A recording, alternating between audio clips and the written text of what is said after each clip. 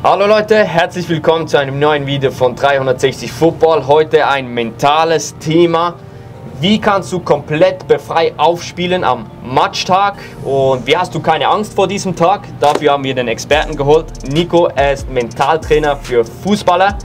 Und wir werden hier ein bisschen darüber sprechen, so interviewmäßig, locker. Und ja, stell dich doch auch noch ganz kurz vor, damit alle wissen, was du machst. Ja, ja, genau. Also vielen Dank erstmals für die Einladung hier zum Interview, dass man da ein bisschen sprechen kann, eben über das sehr wichtige Thema über den Kopf, werdet ihr jetzt auch noch erfahren. Mein Name, wie du schon gesagt hast, ist Nico, Nico De Villa. Ähm, und ja, bin Mentaltrainer, also ausschließlich für, für Fußballer. Wir nehmen nur Fußballer, äh, ansonsten nichts und genau bringen die einfach im, im Kopf wirklich auf absolut Champions League Niveau, dass sie dann auch ready wären, um eines Tages dann halt dort auch zu spielen zu können, weil es einfach ein brutal, ja, fundamental wichtiger Definitiv. Äh, Bestandteil ist, genau. Das weißt du ja auch, aber das wirst du jetzt dann gleich noch erzählen, oder? Ja, ich erzähle kurz noch eine Story zu mir und dann kommen wir direkt in die Materie, damit ihr profitieren könnt und etwas mitnehmen könnt. Viel Spaß. Ja, komplett befreit aufspielen, etwas, das ich ja leider oftmals so nicht gemacht habe oder ich hatte immer das Gefühl, ich bin vielleicht bei 70 Prozent, vielleicht teilweise sogar nur bei 50 Prozent. Ich hatte immer das Gefühl, ich könnte mehr, wie ich am Spieltag abliefere und das hat sich so durchgezogen in vielen Jahren in meiner Jugend. Ähm, und da mache ich mir sogar heute noch Gedanken, was mhm. wäre gewesen, ja. wenn ich da wirklich alles aus mir rausgeholt hätte. Also wahrscheinlich geht es vielen da draußen auch so. Ähm, und ja, ist eine Problematik, die da, da, muss man etwas dagegen tun, weil sonst äh, kommt man da wirklich nie an sein richtiges Potenzial. Wie siehst du das? Du bist da der Experte, darum haben wir auch Nico am Start, um solche Fragen ja, professionell klären zu können. Ja, genau, also hallo zusammen und ja, freut mich diese Frage oder auf diese Frage heute auch ein bisschen vertiefter einzugehen in diesem Video. Und ja, wie du das jetzt auch schon so schön geschildert hast, ähm, eben, dass es vielleicht im Training oftmals viel, viel besser läuft und dann im Spiel, dass man irgendwie sich gewissermaßen gelähmt, blockiert fühlt, das haben sehr viele Spieler, wirklich sehr viele Spieler, obwohl es natürlich niemand so öffentlich zugibt. Das, ja. ist, das ist das Ding. Also, ja, das habe ich damals ähm, auch nie ja. so ja, auch niemandem so richtig gesagt. Genau. Jetzt so danach ist es easy, darüber ja, genau, zu sprechen, genau, kein genau, Problem. Danach. Aber zu dieser Zeit, ja, willst du das, du willst es nicht zugeben. Ja, genau, genau. Man schämt sich vielleicht ein bisschen dafür oder denkt, es ist uncool oder so, aber ähm, sehr viele haben es, dass sie nicht ihr volles Potenzial halt genau dann punktgenau auf den Platz bringen. Ähm, das kann ich sagen, weil wir ungefähr, ich glaube mittlerweile über 1000 Spieler mental okay. getestet haben. Also Krass ähm, mit einem gewissen Mentaltest und dort sehen wir wirklich verschiedene Säulen, was die mentale Stärke halt mhm. ausmacht. So äh, Selbstvertrauen, Winnermentalität, wie gut kannst du Fehler abhaken und so. Und das schlechtest ausgeprägteste bei diesem Test von ungefähr mhm. 1000 ist wirklich der Tag X, also eben der Spieltag, dass sie die ja. Leistung am Spieltag nicht so wiedergeben können, wie sie es eigentlich könnten. Und halt der Umgang mit dem Druck. Das sind die zwei Schwachstellen, die sehr, sehr auffallen, durchs Band bei diesem Test.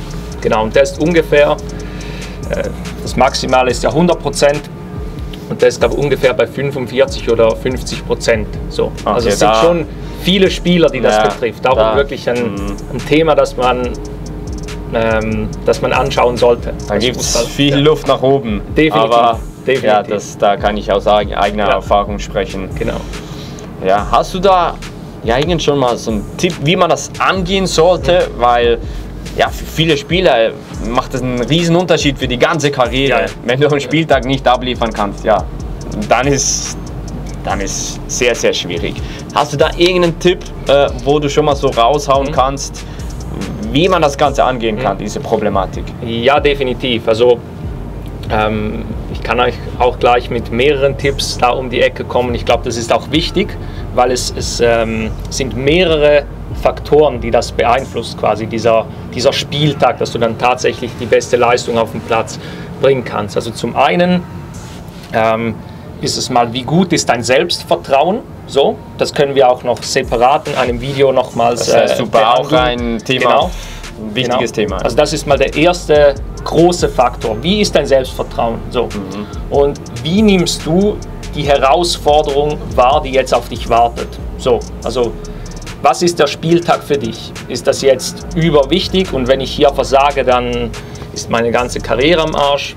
Oder quasi, oh krass, der Tabellenführer kommt zu uns, die sind sicher brutal stark und so. Ja. Oder denkst du eher, okay, der Tabellenführer kommt, geil, wir können nur gewinnen, mhm. Jetzt stellen wir diesen Bein. So. Und wie du denkst über diese Herausforderung, gibt es natürlich noch mehr, ähm, so siehst du auch diese Herausforderung. So. Also wenn du natürlich das Ding jetzt überwichtig machst, wow, wichtigstes Spiel in meiner Karriere etc. etc., dann schraubst du das immer hoch, den Druck. Ja. Ja, und wenn dann dein Selbstvertrauen nicht so gut ist, dann schaust du so von unten quasi an diese Herausfor Herausforderung äh, hoch mhm. und dann fühlst du dich klein, du fühlst dich dem nicht gewachsen. So. Mhm. Und das ist der Grund, warum eben viele dann blockiert sind, weil Angst löst ja gewisse Dinge im Körper aus, wie äh, Cortisol, Adrenalin, die, die halt gewisse Dinge dann verändern im Körper, im, im ganzen Prozess. Mhm. So. Und das verändert dann eben auch, auch vieles im Spiel oder dass man das wirklich nicht mehr so abrufen kann. Darum ist eigentlich das Ziel, dass man die Herausforderung heruntermacht, mhm. so. Okay, ist nur ein mhm. Spiel, quasi mhm. okay, dann kommt halt der Tabellenführer, wir können nur gewinnen solche Dinge halt, kann ich noch ein paar Tipps danach geben, was da auch wichtig ist. Und dann halt das Selbstvertrauen hochzuschrauben. So, diese zwei Dinge sollte man grundsätzlich unternehmen. So. Mhm. Und dann kriegt man das auf, ich sage jetzt so mittelfristig, in ein paar Monaten, wenn man an dem arbeitet, kriegt man das hin. Dass man okay. dann wirklich mit der Zeit ähm, das zeigen kann, was halt wirklich in einem steckt. Okay. Genau. Ja, das ist wichtig. Das ja. wäre schön gewesen, hätte ich das schon früher ge gewusst. Oder ich denke, ich war mir der Problematik nicht so bewusst mhm. oder ich habe mir gar keine Gedanken gemacht, wie ich das lösen könnte. Ja. ja. Ich denke, das war vor allem das Problem. Ich hätte nie an Mentaltraining gedacht in diesem Alter. Ähm, jetzt mittlerweile sehe ich es auch als richtig wichtig mhm. an. Ähm, auch dank dir, da ich von dir ja schon ein bisschen was erfahren habe. Ähm, das heißt eigentlich, erster Schritt ist auch überhaupt sich das bewusst zu sein, oder? Ja. Definitiv. Und, und, dann kommen die Tipps ins Spiel, die man eigentlich konkret ja. umsetzen kann. Ja, genau. Also das, was du jetzt angesprochen hast, dieses Bewusstsein, dass der Kopf halt eine wichtige Komponente, ein wichtiger Faktor ist, der ist noch nicht wirklich durchs Band durchgedrungen. Obwohl okay. ja. Jeder Profi immer wieder davon spricht, ja. dass Fußballspiele im Kopf entschieden werden. Heute hat es die Mentalität ausgemacht. Äh, Piolo sagt eben, Fußball wird vor allem, glaube ich, im, mit dem Kopf, im und Kopf mit gespielt und nicht mit dem Fuß. Ja. Da ist nur das Werkzeug. Es gibt tausende Zitate, ja. ähm, die wir auch immer wieder posten und so, um mhm. einfach dieses Bewusstsein zu schaffen, dass der Kopf eine wichtige Säule halt ist, nebst dem, was du in den Füßen hast, nebst mhm. dem, wie schnell du bist, wie hoch du springen kannst, wie gut die Kondition ist etc., also die Physis mhm. und wie gut bist du taktisch. Also der Kopf gehört dazu und wenn der nicht stark ist, dann limitiert er dich. Also daher mal dieses Bewusstsein zu haben, a, ist sicher wichtig und zweitens auch zu wissen, dass man das stärken kann. Ja. Genau, weil es lässt sich trainieren. Die mentale Verfassung ist ähnlich mhm. wie ein mhm. Muskel kannst du so ungefähr vergleichen. Wenn du dich ja. immer wieder mit den richtigen Übungen damit beschäftigst, das trainierst, dann wirst mhm. du stärker und dann ja. wächst das Selbstvertrauen etc. Du kannst besser mit Druck umgehen. Genau. Ja. Also genau Punkt A ist mal wirklich Bewusstsein zu haben, mhm. dass es wichtig ist. Zweitens, dass man es trainieren kann. Und ja, genau, und dann kann man eigentlich in die Umsetzung kommen. Okay. Genau. Ja, interessant.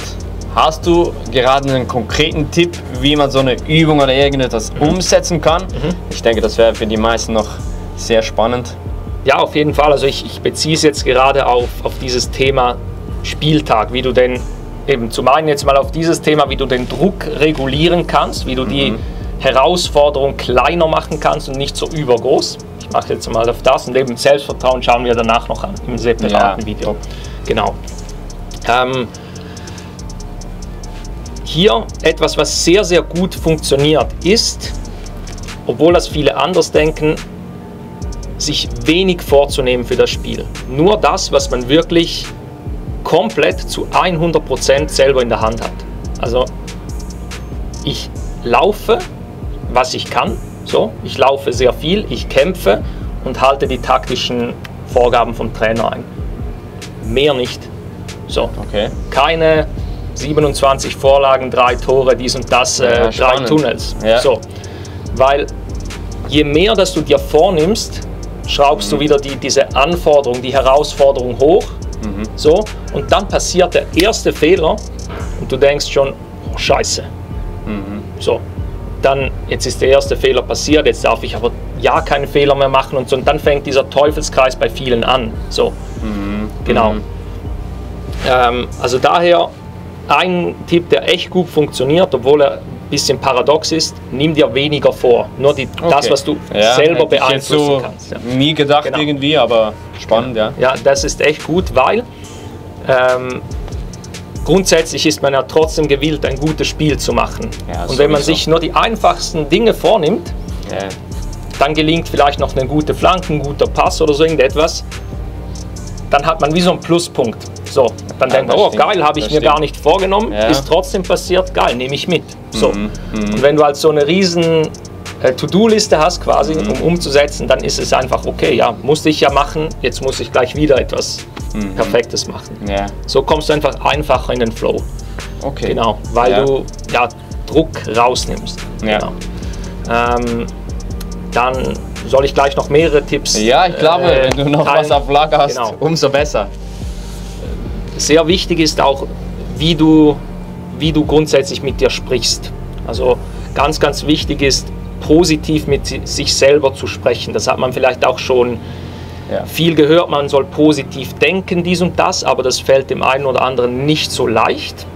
Ja. Darum, wie kannst du deine Gedanken beeinflussen, dass sie wirklich positiv werden? Das ist, indem du mit dir selber halt sprichst. Ja. So. Ja. Wenn du dir selber jetzt sagst, innerlich, das muss nicht laut sein, so, hey, ich bin krass heute, das kommt Mhm. gut, ähm, ich bin ein guter Fußballer, dann fängst du mit der Zeit automatisch das an zu denken. Und so wie du denkst, so fühlst du dich auch. Mhm. Ja. Mhm. Also wenn du denkst, ich bin krass, ich bin gut, Also, dann, dann, dann fühlst du dich auch, Ronaldo-mäßig, genau, oder? genau. Das Wenn du das denkst, du bist der, der beste Fußballer der Welt, Ja. dann verhältst du dich auch so auf aber du musst Platz. es halt immer wieder. Genau, immer, wieder, immer sonst, wieder. Sonst genau. nicht, ja. Und aber das andere ist ja auch, wenn du denkst, ah, Scheiße, kommt das heute gut? Ich weiß nicht, ich glaube, der Gegner ist stärker, die sind Erster und so. Ja. Dann fühlst du dich ja klein und schlecht und so, oder? Ja, automatisch, ja. Dieses Feeling nimmst du mit auf den Platz und so verhältst du dich. Wenn du dich Ja. krass fühlst, verhältst du dich halt breite Ja. Brust, du willst die Bälle, du bietest dich an, etc. Ja.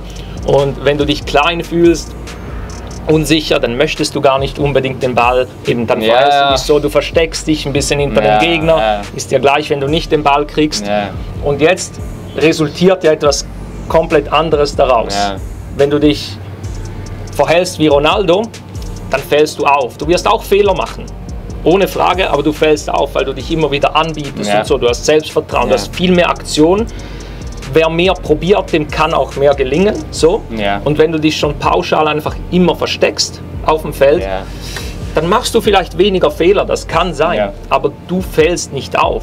Und wer, wer hohe Ziele hat im, im Fußball, wenn du einfach einer von 22 jetzt da bist, graue Masse, dann wirst du es nicht weit schaffen. Also Man muss auffallen, Genau, man muss der genau, Spieler sein, genau. auf seine Position, Genau, genau. der auffällt. Genau, Da genau. muss man ein bisschen Risiko nehmen. Genau. Und darum ist eben so wichtig, bei den Gedanken anzufangen. Ja. Nur wenn du denkst, du bist brutal, wirst du auch brutal spielen können. Ja. So, das, Ja.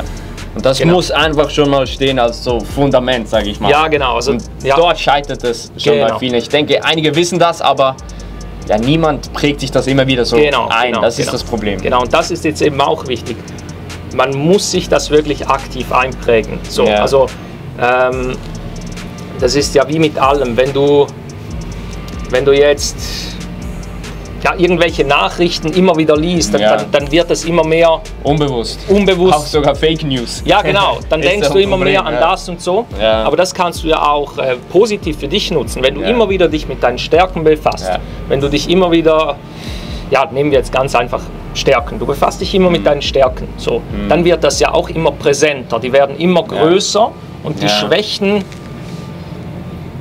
die, die, die werden dann wie so ein bisschen überschrieben. So. Mhm. Und das ist ja sehr wichtig für das Selbstvertrauen, was wir eben danach noch ein bisschen genauer durchleuchten. Ja, da kommt noch ein zweites Genau. Video dann. Genau. Weil Selbstvertrauen ganz, genau, ganz wichtig. genau. Also eben schlussendlich sich immer wieder mit de, diesen Sachen halt äh, zu beschäftigen, sich auseinanderzusetzen, auch wie so einen mentalen Trainingsplan zu machen. Mhm. Ja. Das machen wir mit unseren Jungs, die, die kriegen so einen mentalen Trainingsplan mit auf Ja. den Weg, dass sie das wirklich immer wieder sich mit diesen Dingen beschäftigen, weil ja, das muss man fast, weil Ja.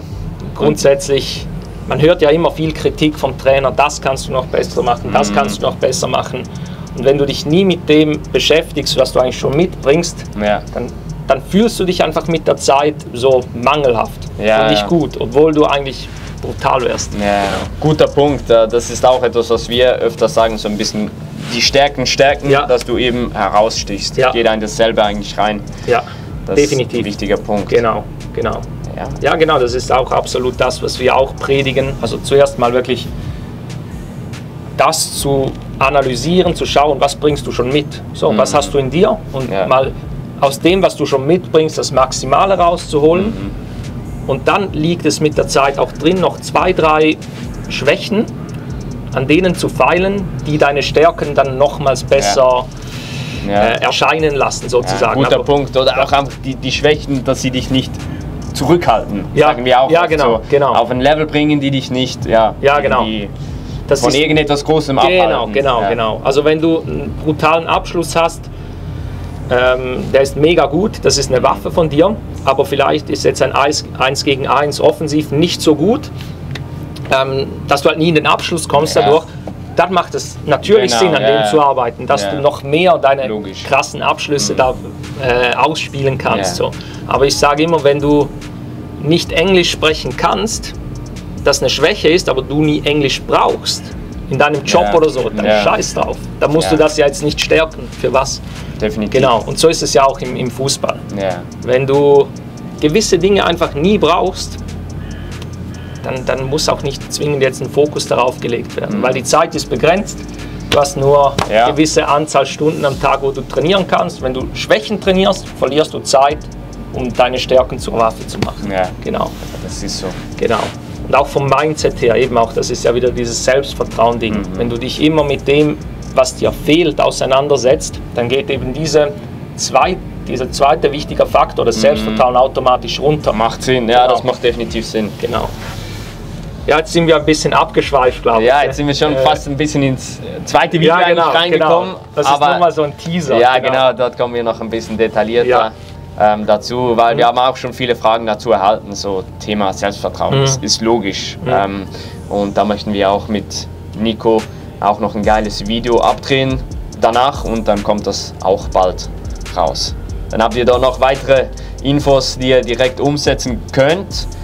Ähm, ja, jetzt haben wir eigentlich zwei konkrete Tipps schon mal gehört. Ich weiß, äh, dass Sie dann mit den Spielern individuell noch viel detaillierter natürlich das Ganze angehen. Jetzt ist natürlich nur die Oberfläche ein Ja, bisschen ja. angekratzt. Trotzdem denke ich, dass schon einige davon profitieren können ähm, und so bewusster werden. Wegen der Problematik war ja der erste Punkt überhaupt, genau. sich dessen bewusst sein. Ähm, schon ein paar gute Tipps gegeben. Danke dir.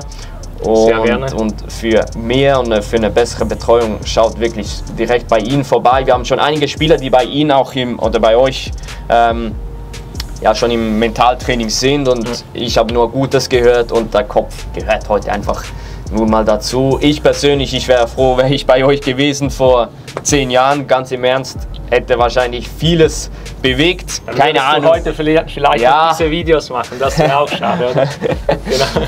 Keine Ahnung. Ähm, ähm, gibt viele andere gute Spieler, aber vielleicht hätte es ein bisschen, ein bisschen auf, nach, auf ein höheres Level gereicht, wer weiß. Und ich hätte wirklich mein Potenzial zeigen können.